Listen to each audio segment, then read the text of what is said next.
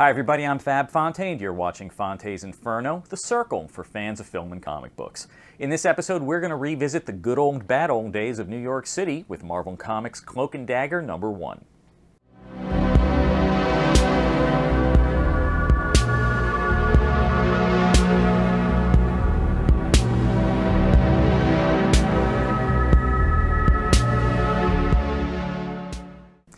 Years ago, I reviewed Marvel Comics Cloak and Dagger number 1 from their 1983 four-issue miniseries. Written by Bill Mantlo and illustrated by Rick Leonardi and Terry Austin, Cloak and Dagger number 1 was the title character's first solo comic after five appearances in Peter Parker the Spectacular Spider-Man. Cloak and Dagger's first appearance in Spectacular Spider-Man number 64, written by Bill Mantlo and illustrated by Ed Hannigan, was a powerful introduction to the characters, highlighting their powers and their motivations for distributing their brand of justice. But that initial story made it really hard to gauge Cloak and Dagger's role within the Marvel Universe, because they were written as two powerful beings hell-bent on vengeance rather than classic Marvel heroism. So a little backstory before we take a look at the first issue of their 1983 miniseries. Tyrone Johnson and Tandy Bowen, two teenage runaways, are held captive at the mob's secret drug lab on Ellis Island and used as guinea pigs to test a new synthetic drug. Unlike the other runaways, Tyrone and Tandy survive the effects of the deadly drug and now have powers of light and darkness. Tyrone envelops criminals in the cold, dark void within his cloak, and Tandy has the power to emit lethal daggers of light. Now we fast forward to the first issue of their 1983 miniseries. The story begins with Father Francis Delgado walking the crime and drug-infested streets of Hell's Kitchen, observed by Cloak and Dagger from the top of the Port Authority bus terminal. After a noble but unsuccessful night of trying to save the streetwalkers and criminals, Father Delgado returns to his 42nd Street church, praying for the strength to continue his mission. But his moment of despair is broken up when Cloak and Dagger, bathed in her light, appear on the altar. Moved by his desire to save the hopeless, they ask Father Delgado for sanctuary in his church and recount the dark circumstances that led to their powers and their mission of vengeance against predators of the innocent. Meanwhile, at Hell's Kitchen's 21st precinct, a doctor tends to a group of sick men in a jail cell. The doctor can't make out their puzzling symptoms that the cops dismiss as a bad drug reaction. Detective Bridget O'Reilly has seen their type before. Lowlifes that prey on young runaways in the Port Authority bus terminal known as chicken hawks. O'Reilly takes an interest when one of them tells her about the vigilantes that took them out. His description of Cloak and Dagger matches the NYPD's previous reports of powered vigilantes that took out organized crime and drug dealers, and O'Reilly will be damned if she lets them control her territory and get innocents killed.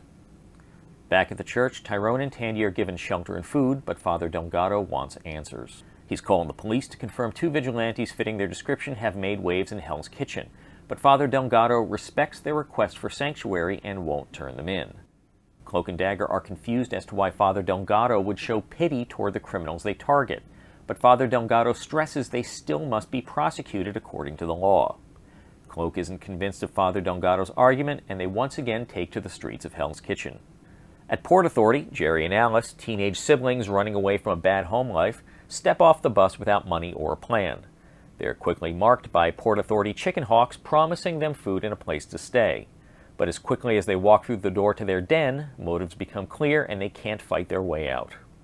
But Cloak and Dagger, following them since they got off the bus, bust in to dispense justice on the predators.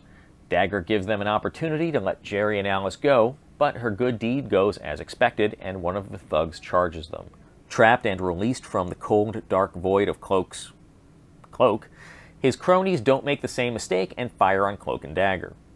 The gunfire draws O'Reilly to their lair, but as the runaways try to escape, Jerry is killed by a stray bullet. Any thoughts of mercy are cast aside as Dagger's shards of light take out the three remaining chicken hawks. O'Reilly threatens Cloak and Dagger's arrest for the death of Jerry. Dagger is shattered by the death of an innocent as O'Reilly hammers them with the reality that their methods are no better than those of the criminals. Cloak and Dagger teleport back to the church, where Dagger begins to question their actions. In the background, Father Delgado is called to administer last rites for the dead runaway. Compared to the origin stories of the other Marvel heroes, Cloak and Dagger's origin is pretty dark stuff, right up there with Luke Cage's origin story from a decade earlier. But Cloak and Dagger number one takes this to another level as Tyrone Johnson and Tandy Bowen navigate the seedy, dangerous New York City of the good old bad old days of the early 1980s, with the drugs, prostitution, and crime represented in an unflinching manner in Bill Mantlo's scripts. It was usually the art that drew me to buy a particular comic book, and this was no exception when Cloak and Dagger hit the stands in 1983. Just seeing Terry Austin's name on the cover was more than enough for me to put my 60 cents on the counter and buy this issue. His inks were a great match for Rick Leonardi's pencils, and to this day, an original page of art from this miniseries is still very high on my want list. But it was Bill Mantlo's writing, particularly his use of 1983 New York City as a backdrop, that got me to buy the subsequent three issues of this miniseries. Mantlo pulls no punches when writing about the perils of runaways and unprepared newcomers to New York City, so this is a hard-hitting miniseries, establishing Bill Mantlo as a passionate, uncompromising writer that incorporated social issues into this comic book. His writing, combined with Rick Leonardi's pencils and Terry Austin's inks, brought the seediness of early 80s Hell's Kitchen to the comic book page. Issue number two was inspired by real life headlines from that era about a sick sociopath that poisons bottles of aspirin to kill random, unsuspecting people. And in the first issue of their later bi monthly series, Cloak and Dagger take on the predators that ensnared young women into a nightmare life of Times Square peep shows and worse. Looking back, I'm actually surprised at how much of this atmosphere they were able to use in their stories. This was a comic book that likely had a significant readership under the age of 18 that depicted prostitution and drugs.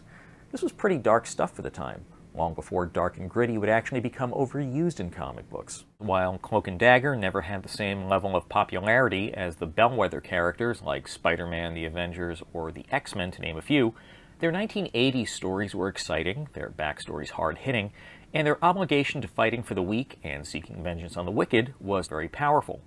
In spite of their short comic book runs or the sales figures of their issues, Cloak and Dagger truly fit the Marvel premise that Stan Lee had used to describe Spider-Man.